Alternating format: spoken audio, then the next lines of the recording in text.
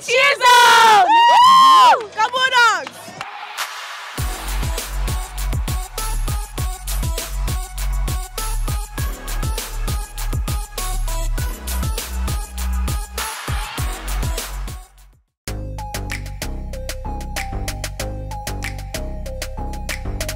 Jada, junior year. Krisha junior year.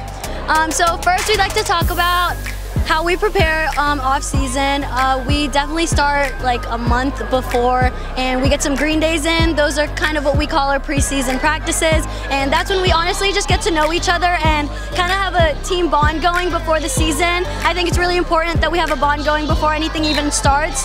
And you know, we obviously stunt, tumble, jump, all that kind of stuff, but we also want to prepare everyone for tryouts in August. Um, and that's pretty much it. school. We come out here, we practice our cheers, we practice our routine, and we just get ready for the football season as well. So we were actually out here about two hours before the game. Um, we honestly just wanted to see how the weather was and how everything felt so that we had a good feel for how tonight was going to go. And we practiced some of our cheers. We did them for like two, three minutes straight, just kind of getting consistent, being really sharp with our motions.